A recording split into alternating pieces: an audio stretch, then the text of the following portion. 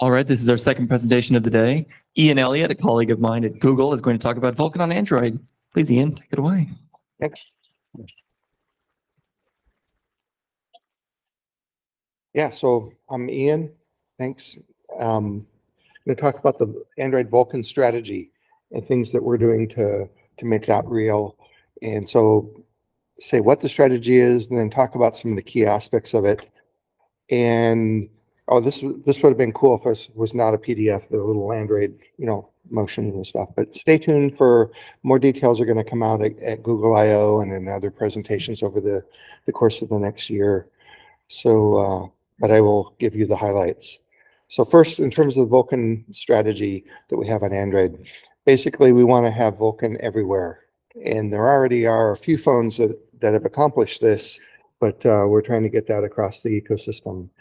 So this this slide will point out, you know, there are a few apps, like a few AAA games, a few apps that will use Vulkan directly, but most are really going to use Vulkan through engines, game engines, whatever, middleware, or layered APIs such as Angle that we've you know talked about a little bit, and I'll talk a little bit more. Web GPU, we had the discussion from Brandon yesterday, and and I think there's another one from ARM later today, and then um, other APIs such as HWUI or SkiaVK, layered APIs. And I'll just put in a plug that I was asked to give that if any of you want to be an early access person for WebGPU, um, please please come talk to me or or somebody else at Google the the idea here is is was mentioned yesterday. There's not just being able to use it through the web, but also be able to use it natively directly on uh, on Android apps. So as I mentioned, not all software is going to use it directly. So if you're an engine developer or an application developer, middleware person, whatever, um, basically, I think most of you have already done this, but we'd like you to have a Vulkan backend, right? Create a Vulkan backend, make Vulkan the, the default. And then if anybody runs into problems where you say, can't use the Vulkan backend, I need to keep using GLES or something else, uh, let us know, right? One of the problems I'll, I'll talk about is that some people, they, they run into a problem, they just switch back to the old reliable OpenGLES, and uh, that's not what we want. We want everybody to use Vulkan, and we want them to be successful, right? We want everybody's software to work well on top of Vulkan, so that's what we're pushing for. And then eventually at some point, everybody can delete their GLES backend. And that's what we want, right? We want everybody using Vulkan. Um, so most of the rest of this talk is going to talk about the dependencies for that. Let me talk real quick about Angle. So I say Angle is for the stragglers, right? As in we want everybody using Vulkan directly or indirectly through an engine and so forth. But we think realistically there are going to still be people out there who use OpenGL for a long time right? Maybe it's a game that it's a cash cow. They created it 10 years ago. They keep making money off of it. Why, why invest more in it? Um, or they just frankly don't need anything better. So we think WebGPU is going to help for a lot of the folks who st still want to do things and have an easy to use API. But um, anyway, so we have Angle, and Angle's wonderful. Um, I used to work on it. Uh, Cody in the back worked on it, and uh, really, really valuable cross-platform, so not just on on uh, Android. It's 3.2 conformant with the Vulkan backend, and um, there's a few of the phones out there now, um, like some of the Samsung phones that are that are using it as their GLES driver. There's some others that have passed 3.2 conformance with it, and so expect more and more over time that there's going to be more people using using Angle as their GLES driver. And then we're eventually going to get to the point where that is the universal GLES driver implementation that everybody uses. And we think there's going to be some good benefits, reducing fragmentation, making, you know, allowing everybody to focus focus their efforts on Vulkan, and then, uh, you know, good things will happen. So we want everybody to be able to be successful. What do we need for everybody to be successful on top of Vulkan, right? We need some consistent features. Some of the talks this week have talked about how you can't really depend on things. And we talked a little bit last night on the, in the panel discussion about this. We need correctness, stability, no performance surprises. So you could kind of lump all of those things together into the term quality. But a lot of people, when they think of quality or bugs, they think of just the correctness issue. But really, there's there's different aspects to it. So, so first, let's talk about consistent features. Profiles. All right, we've had some great discussion about profiles, so I'm not gonna. I think everybody knows what they are, and uh, we have two types on Android. The first type that we created a, a, uh, couple of years ago. Um, Android baseline profile. And, and Trevor was very instrumental in going, digging into the database and trying to see for all the phones that were active at that time, including really old phones, what was, what was it that 85% of those phones used? So it was really a backwards looking profile. It looked back and said, okay, here's what all the hardware vendors just happened to provide, all the random choices that they made. Um, and, and so that gives you something that you can, can count on. If you're trying to write software and you want to know what's going to work on almost every phone out there, there's, there's your profile. Um, but that's not where we really want to go because we want, again, want to drive it so that your software works well. And so we created a new kind of profile. We're calling it, we, naming discussions, right? Don't you love naming discussions? Um, so we've called it Vulkan Profiles for Android or VPA for short. And the first one has been published. So for the upcoming Android 15 release that'll come out sometime later this year, we've published, here's the minimums, right? So it reflects the needs of software developers and we're trying to drive consistent features. So not just what did people want to do, but but what is it that people need so that the software works well. And so we're going to require this. So once Android 15 comes out, anybody introducing a new system on a chip for, for phones, they're going to be required to meet all of the requirements of that profile, right? So you'll be able to start counting on that as more and more phones come out that, uh, that meet that profile. And, and as opposed to say the roadmap profile from Khronos, which is sort of mid to high end, this will be every phone, you know, every SoC that that comes out after that point. So uh, expect new VPA profiles every year. So talking a little bit about the process, the, we started with talking to software developers, right? And instead of having multiple profiles, like having a WebGPU profile or an Angle profile or a Unity profile or whatever, we, we talked to software developers and said, what do you need to work well? And then we kind of coalesced that we came up with a humongous profile and went out to the hardware vendors. And it's like, okay, when can you deliver all these things? Can you deliver all these things, right? What, because we, we want, you know, again, everybody's software to work well.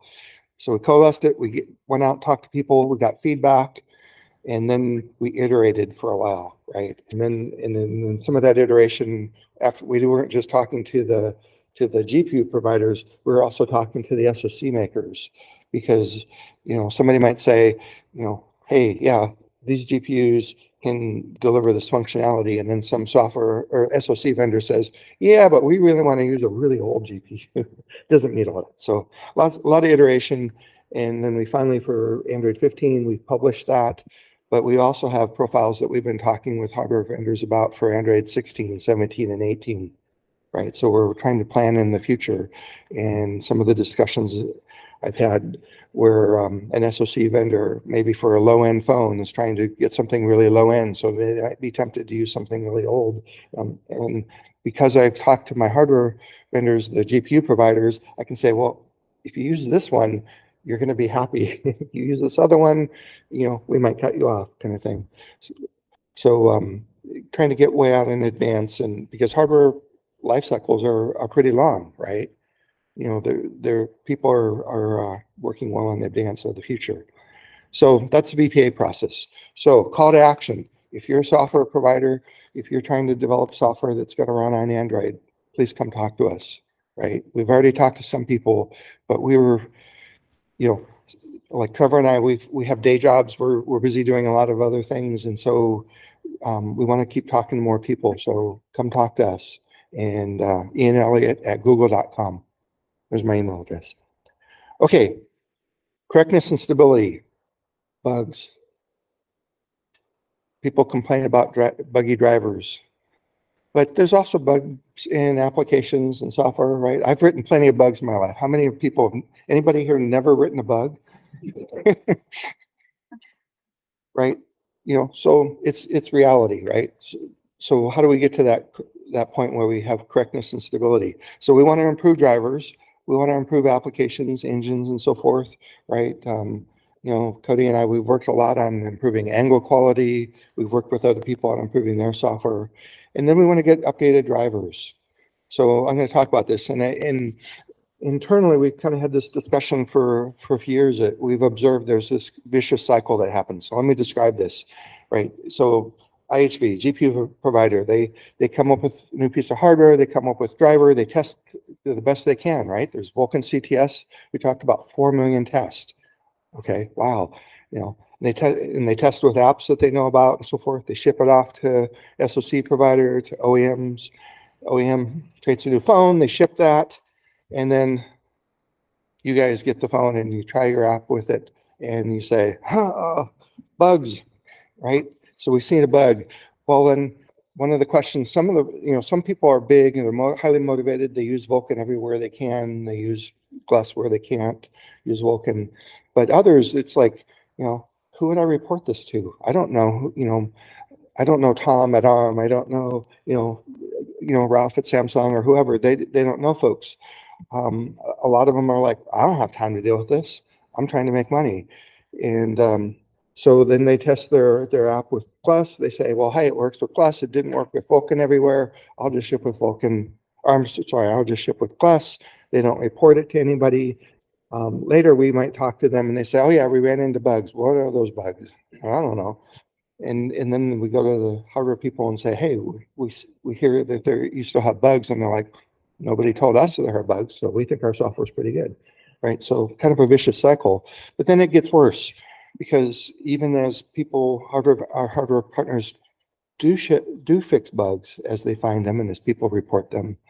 Um, there are some hardware providers out there, some phone makers and some SoC makers. They don't want to ship new drivers, right? That costs money to test them. And, and, and their, their business model doesn't, doesn't do that. So, so we're trying to break this vicious cycle. And, but first, a couple lessons. One, lesson I learned a long time ago as a driver writer, drivers improve with, with exposure to content, right? Drivers have lots of paths in them. Hardware has lots of paths, basically, if you think about it. And the more, you know, despite all the, the work that we do, as we see more apps that exercise our drivers in new and interesting ways, we find the bugs, then we can fix the bugs, right? If we, if nobody, if, if there's only two apps out there, they're not gonna find as many bugs as if two hundred. So, um, that's one of the lessons. But another lesson I learned, apps improve with exposure to drivers, right? I've seen lots of software that, well, I tested on this, this phone or this, you know, desktop PC, because I used to be a desktop guy. They tested there. Well, obviously everything works like that piece of hardware, right? No, right? So, so, so both of these things are true, right? We need exposure. We need, need this, uh, as opposed to the vicious cycle, we need to have a virtuous cycle. So let me talk about that. So we can break this. So let's look at OEM ships a new driver, software provider finds a bug.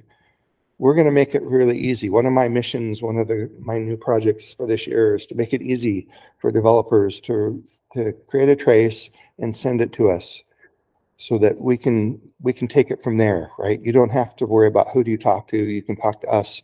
We'll take it from there. We'll work with the hardware providers. They'll fix the bug. We'll try and get beta drivers off to you so that you can test and say, yeah, it really does fix my bug and it doesn't create three more. Um, get that feedback loop going. And in some cases, that might actually create a new loop where you don't even need to talk to us. You can uh, talk to the hardware people directly. But again, you can always, we'll be able to come to us and we'll help you. Um, and then we're going to look at trying to create a new kind of driver. So one of the problems for the, some of the, O- the OEMs who they, they don't want to have this big testing burden of getting a new driver all the time and having to test it. So, okay, let's create a, an optional driver that will be there so that, you know, Facebook and everything, you know, Gmail keeps working with, with, with the driver that originally shipped on the system. But if, but for your game, there'll be a driver that can be there that you can say, hey, I want my app to use this optional driver as opposed to the base system driver, right? And we'll work with OEMs to, to make sure that they ship that. And then encourage them that, hey, and, and again, more details will be coming out in the future, but, uh, work with the OEMs to eventually take that optional driver and make it their new driver and start updating drivers more, uh, more frequently. And I will, and I don't want to say all OEMs are that way, right? There are people who are shipping drivers that are improving the, the state of the art. And, and we like that. We want to just help, again, get a virtuous cycle, get everything going well. So another part of this is application tests. So no offense to all the, the people who've worked on Vulkan CTS, and I'm, I'm one of them in the past. Um, but it's really, one way that I would look at it is it's kind of a collection of unit tests, right? This test tests this thing, and this test tests this other thing, and, and so on. But if you think about what an app does, right, it's like, okay, there's 10, 10 features or settings I'm going to set for this draw call, and then I'm going to use a few of those and some other ones for the next draw call, and so forth and you get into these complicated usage patterns, that's where bugs are found in drivers and, and Vulkan CTS doesn't necessarily do that. So one of the things we had, so Cody in the back, again, he, he's worked on this thing called, we call the angle tracer, where we can capture a trace of OpenGL calls and then replay it on any driver. And as we've done that, then replaying it with Angle, which has a Vulkan backend, guess what we find? Driver bugs, right? Because again, we're using using Vulkan in a way more like a, an app would do. Well, not more like, exactly like an app would do. And so, but one of the problems with with Vulkan, and this is something Piers from NVIDIA and I learned um, before Vulkan 1.0 is Vulkan traces are not portable, right? Because again, part of the, it's a low level API. You have to do something a little bit different on this device than on that device. And so just because you have a trace on, on say, you know, here's a Pixel 8, is that going to run on a Samsung S24? Uh, probably not, right? Different drivers, different GPUs, even the same phone. If I have an old driver from Android 11 and now I update to Android 14, the driver is going to be different. There's going to be different behaviors. And so, but we've been working with, with, with LunarG in terms of GFXReconstruct and, and, and, and some other partners who maybe don't want to be named to let's improve GFXReconstruct and let's be able to create some C++ code from those traces. And then from that, again, if you work with us, we can can look and say, okay, here's the unique things that you're doing. We can wrap that into a new test, right? th- That will reflect what your application is doing or your engine or whatever. And then we can make that so that it, um, we can make new tests that reflect what real apps do. That'll catch bugs that, um, Vulkan CTS isn't able to catch. And so my appeal, here's another call to action, right? If you're developing software, please work with us. Provide us, you know, maybe it's a demo, maybe it's a trace, maybe it's, you know, whatever. Something that we can turn into test, or maybe you can turn it into a test. But something so that we can, you know, help our driver writers be able to say, you know, okay, here's a set of tests that reflect what, what, um, applications really do. And again, that'll help you, it'll help them, virtuous cycle. So eliminating performance surprises, that's another thing, right? There's, don't you just hate it where you, you know, everything works really well and then suddenly you try it on a different piece of hardware and it's like, surprise, you know, it runs, runs dog slow. Um, so one of the problems here is, is that for years, the hardware providers, they, they have this old, they have some old benchmarks. Anybody have heard of Manhattan? Right, been around forever. People tune to that. Why? Well, that's the benchmark you care about. You know, if you have a good Manhattan score, then that's good. Well, that's based on OpenGL. We want to have new benchmarks, and there are some, but we'd like to have more. Right? We'd like to focus everybody on on Vulkan so that Vulkan is successful and everybody can be successful with it. So, um, that's one of the keys. Another thing here is profiling tools. So we have um, you know, different GPU vendors have their own proprietary tools. We have something called Android Graphics Inspector, AGI. Um, we're working with partners so that, so that there can be new profiling tools out there that'll give you visibility into where you're spending time and provide actionable insights, things that you can do to make your software go better. So uh, look forward to, again, in the future, there'll be more announcements about this. Um, another thing we'd like to do, again, as I've already indicated, let's replace those old GLES benchmarks with new Vulkan-based benchmarks. And then here's another opportunity for, for you to help, right? If you, again, just like you could help us create new tests, we could, you could work with us to create new benchmarks, things that reflect what applications really do. And if we do that, then we can get software, you know, driver software that reflects what, what applications really need. We can have um, better quality, better performance, and uh, life will be better for all of us. And we'll come to these things in the future and, and it'll be, uh, we'll have a lot happier news to, to share, right? So that's, that's what we want. So uh, thank you all.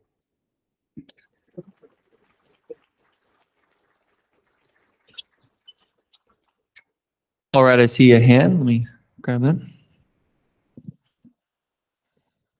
Hey Ian, uh, you may like me. We're uh, about to release a Vulkan benchmark suite. Nice. Um, so we may need to talk after this, but uh, one of the things we're running into, and you kind of alluded to with profiles, is uh, we target ray tracing very specifically. And so if I put my app in app in the App Store, I need a way of sort of excluding uh, non-ray tracing Vulkan devices. So it would be very helpful if I could upload a profile together with my APK or AAB, um, so that it doesn't install on devices that don't have support for the various extensions that are in the profile. Is that something that you guys are even thinking of, or is it like something in the plan? So there are ways that the Play Store um, is able to do stuff like that.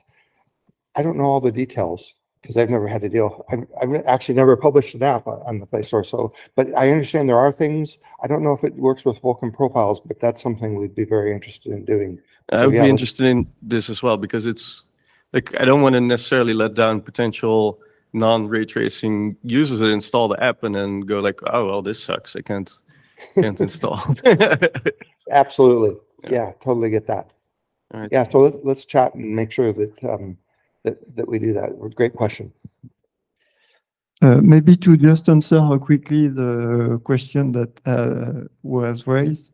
Uh, We can do it already with baseline 2021 and 2022 and um, use the application manifest uh, to filter the application based on this profile uh, that already exists, but we can't upload a dedicated profile for an application. And uh, I will totally agree that we need uh, such feature. Um, uh, So to understand the presentation, so you said you don't want to publish new baseline profiles. And I'm trying to understand the reasoning with this because uh, from my point of view, uh, that was very, very useful because we don't have access as application developer to what's available in the ecosystem. While uh, with uh, 2021 and 2022, at least we had some percentage of the device that that uh, works, uh, that support this feature. Even though it's not that many features, uh, already it's more than just guessing. And typically people or application developer, they will just try not to use anything to be sure that the application doesn't crash because there is no way to filter or something like that. Uh, so I was hoping that you would be releasing a 2024 baseline profile, but now I think I start to understand the strategy. But I would like a clarification uh, regarding this opt-in driver. So is the idea that you are shipping the um, a new type of profiles uh, that are kind of roadmap type of profiles, is that um, the application will be able to ship with the driver, with the Vulkan driver? In that case, if we can have an updated driver with the application, for sure, we don't need the baseline profile anymore. Uh, But uh, uh, but uh, yes, uh, so I'm I'm not totally clear on how this opt-in driver, which is a huge hope, I think, for a lot of uh, application developer, will really work or how it's delivered. Is it delivered as part of the device, depending on the will of the device manufacturer or uh, of the will of Google or the will of the application developer and that sort of thing.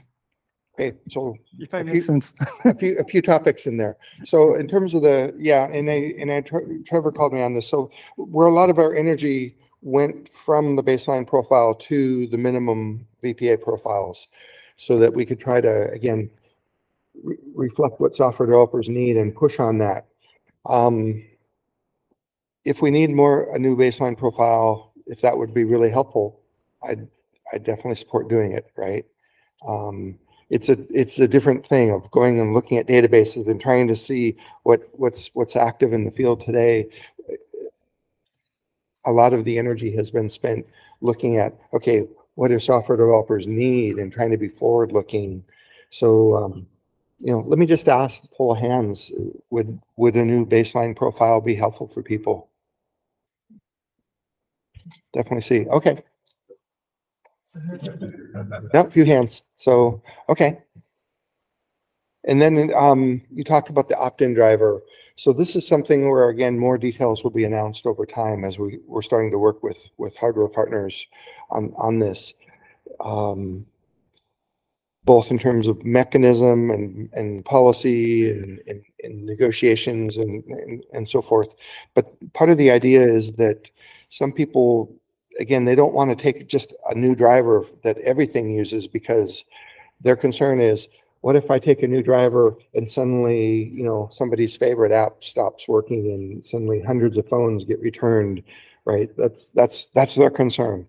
And and so the idea of the opt-in driver would be, okay, great, keep that system driver there, but now have this other driver that fixes bugs.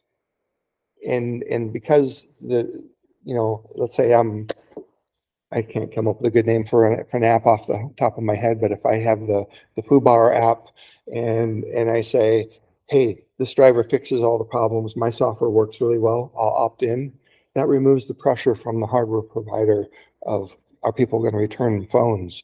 Because they might return a phone because, you know, their favorite game, FUBAR, doesn't work. But now FUBAR does work because there's this optional driver. So it kind of changes the whole financial incentive model and so forth. Does that, that help? And in terms of delivery mechanism and all that kind of stuff, those are details that are still being worked out, but that's, that's what we're really pushing for and wanting to bring about this year. Yeah, so kind of echoing what uh, Christopher was saying about a new baseline profile would be super helpful. It's great to see all this forward-thinking stuff about shipping different drivers and opt-in drivers. But as a game developer, I'm targeting things that are five or six years old easily and having more of a, here's the baseline stability for the market would be amazing. Okay. There's Sounds definitely a lot of guesswork nowadays. Yeah, another thing that we're, we're looking at doing, hopefully not pre-announcing anything bad here, but there's details we're working out of, of, for those who are willing to use Vulkan everywhere where it works well and still use Glass where it doesn't, we're looking at creating a library that would make it easy for people in their software to know, hey, I use Vulkan on these apps, on these devices, I use Glass on these ones. So if baseline profiles is helpful, yeah, great, great feedback, appreciate it.